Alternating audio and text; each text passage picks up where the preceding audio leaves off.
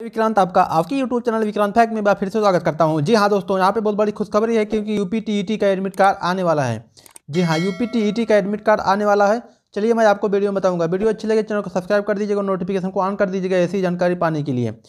चलिए, देखिए यहाँ पे लिखा है यूपी टी एडमिट कार्ड 2022 कल से जारी होंगे UP T admit card dot in से कर सकेंगे डाउनलोड जी हाँ U P T E T के एडमिट कार्ड आने वाला है और ये कल आ जाएगा मतलब बारह तारीख को, और ये आप डाउनलोड कर सकेंगे।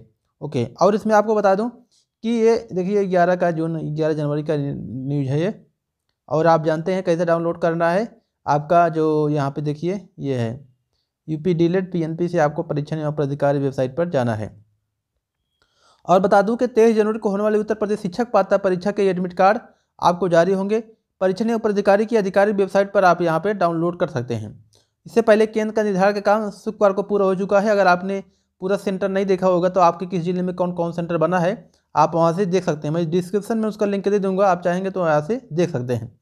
प्राथमिक स्तर की परीक्षा के लिए दो हज़ार पाँच सौ बत्तीस, जी हाँ प्राथमिक मतलब प्राइमरी के लिए दो हज़ार पाँच सौ बत्तीस सेंटर बनाए गए हैं और उच्च प्राथमिक के लिए सत्रह सौ तैंतीस केंद्र बनाए गए हैं। हाँ क्योंकि उसमें परीक्षार्थी कम रहेंगे तो इसलिए परीक्षा केंद्र भी कम बनाए गए हैं। और जबकि आप जानते हैं कि 28 नवंबर को होने वाली परीक्षा लीक के कारण निरस्त कर दी गई थी। 28 नवंबर को प्राथमिक और उच्च स्तर की परीक्षा के लिए कितने बनाए थे? पच्चीस सौ चौवन और सत्रह सौ सैंतालीस सेंटर बनाए गए थे।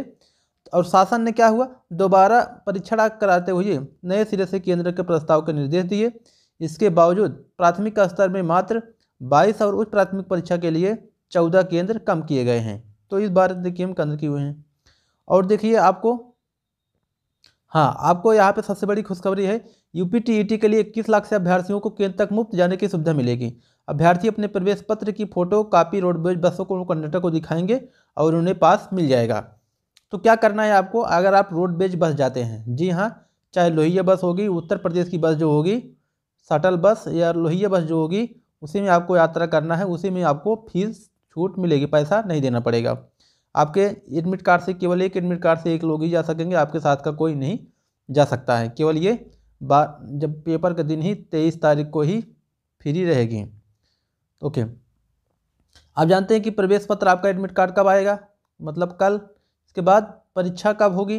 तेईस जनवरी को होगी। उसके बाद आपका जो कुंजी, उत्तर कुंजी आएगी, सत्ताईस को आएगी। और अंतिम उत्तर कुंजी यहाँ एक फरवरी को आएगी। तेईस तक आप तेईस फरवरी तक क्या कर सकते हैं? उत्तर कुंजी जारी की, होने की तारीख है और परीक्षा का परिणाम रिज़ल्ट आएगा पच्चीस फरवरी को। पच्चीस फरवरी को आपका रिज़ल्ट आएगा। और यू पी टी दो हज़ार इक्कीस के लिए कितने आवेदन मिले हैं? इक्कीस लाख बासठ हज़ार आवेदन मिले हैं। कुल तेरह लाख बावन हज़ार अभ्यर्थियों ने आवेदन किया है। किसमें आवेदन किया है आठ लाख दस हज़ार दो सौ एक। उसमें प्राथमिक वाले में आगे प्राथमिक में इतने हैं, तेरह लाख बावन हज़ार, फिर उच्च वाले में कितने हैं? आठ लाख दस हज़ार। उच्च प्राथमिक दोनों स्तर की परीक्षाओं के लिए आवेदन किया है, यही कारण की परिणाम की संख्या में इक्कीस लाख हो गई हैं। तो आपकी यह नोटिस है कि आपका एडमिट कार्ड कब आने वाला है?